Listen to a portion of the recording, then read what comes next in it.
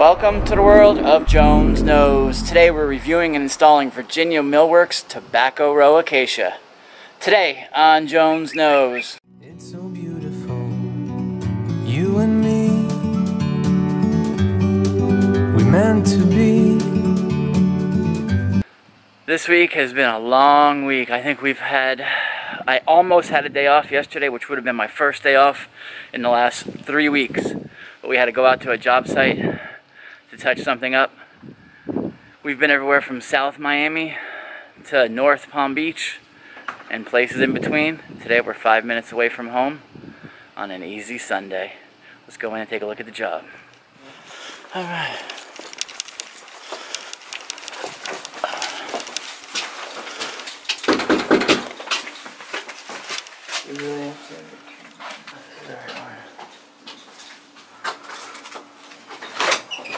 Hello, how you doing? all right. I gotta get my mask on here. Oh. Hello. Oh, we just wear them all the time, so. Pre-finished engineered flooring. See if it says locking system on it.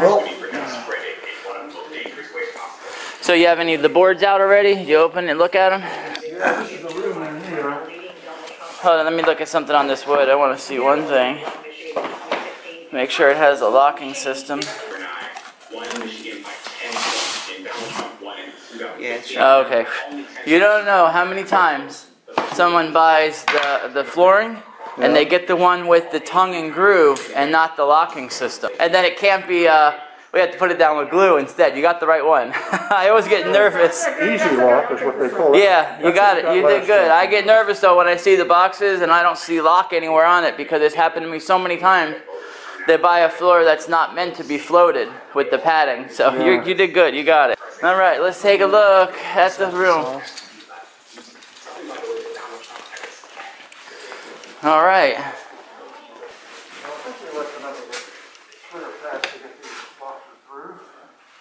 Does the light in the closet work? Oh, it's on. What direction do you want to run it? Um, I think consistent with the Okay. out here. No. Yeah, that's fine with me. I just want to. I have to ask. I don't want to guess. Uh, so it would just go straight into the closet here. I think we left the clothes hanging. No, the clothes are fine. Well, you had carpet before? Yeah, I spent yesterday ripping it out, so um, that was a lot more work than I thought it was going to be. Did you get your money's worth out of the carpet? Yeah, we had it for, I was installed for about 20 years, but it was filthy underneath it. Wow. Well, you did a good job getting everything out. Yeah, we got it out, swept it up. Yeah, you did. You swept it up good. There's no. Sometimes people remove the carpet and then they don't get the tack stripping. So, do you want? Uh, what do you want to do with this closet door? Do you want us to remove it and try to just flow the floor through it? What are you talking about there? So, do you want us? Do you want the floor to continue without this strip here?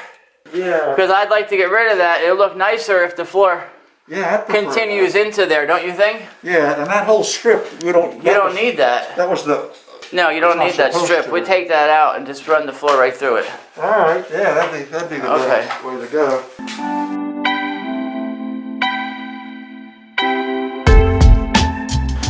Ah, Virginia Mill Works. It's an engineered wood floor with a locking system. It's got a nice hand scraped. Random length boards. It's the Echo Silent, which is a good one. And we're also putting a vapor barrier down under it to really double down on moisture protection. So let's get started.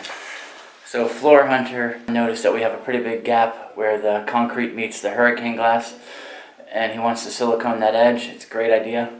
So let's take a look at what we're gonna do. It's a pretty good sized gap. Before we put the plastic down, we'll run a bead of silicone in that edge it'll really seal it from moisture rising up under our floor. Cut it the wrong way. There's no wrong or right way, you just have to twist it. Alright, that's nice.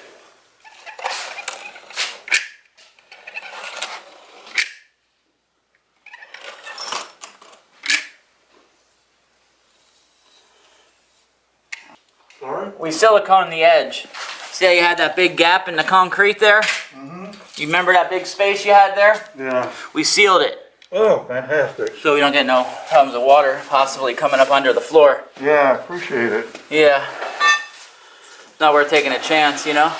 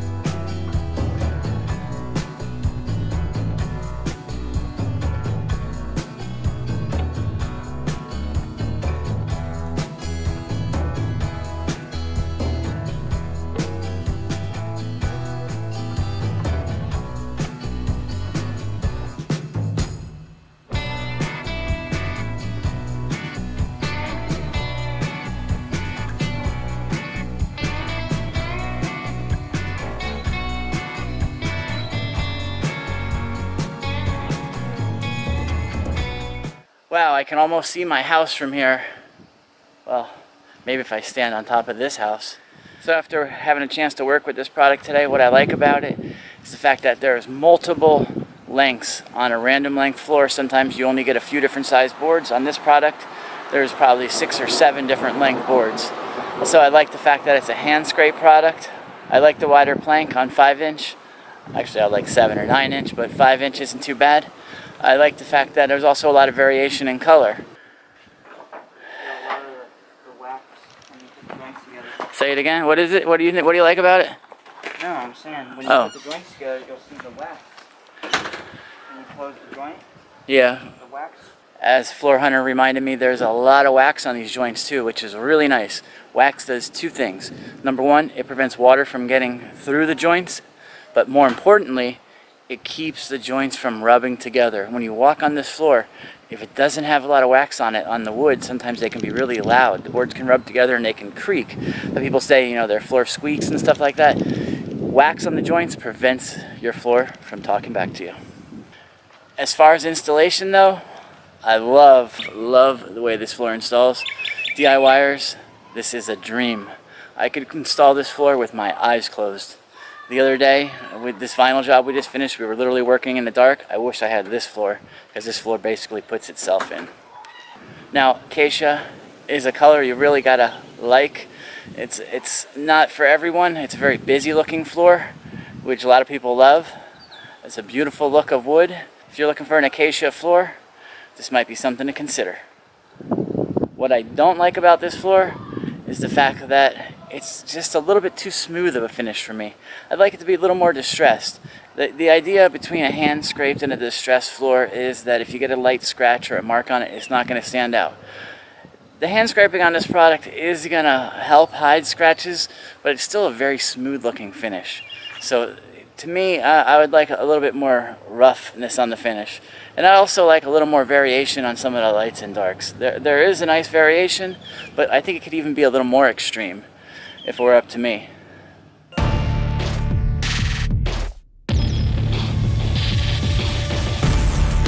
All right, show me how to install one board for the viewers at home.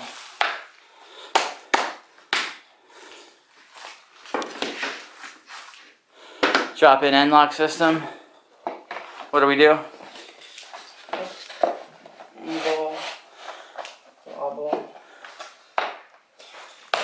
That easy. Drop down. Repeat one more time. Wiggle it. Drop it down. Nothing to it. It's too easy. Let's put the quarter on there.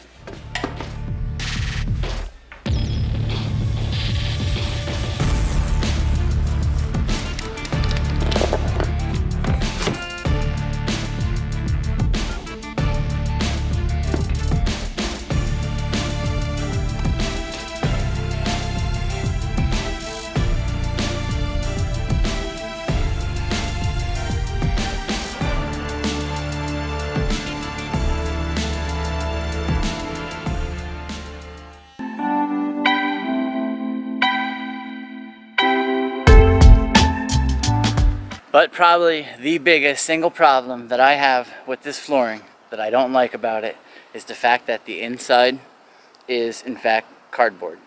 Yep. It's basically press board. There's laminate floors out there. Most laminate, I mean, all laminate floors out there practically have a better inner core than this. I'm not saying lumber liquidators and Virginia Mill Works are the only ones to do this, but it's a trend that a lot of companies are doing to cut back on the cost, and I don't like it. So that's the biggest problem I have with wood flooring not being wood. Hmm, makes sense, huh? If you want a wood floor, don't you expect it to be wood, not cardboard? You don't buy cardboard floors. So why do they give you cardboard floors? You're paying for wood, last time I checked. Well, anyways, I'm done with my rant and we're done with the floor. So let's go in and take a look at it and I'll let you decide. So here is our finished master.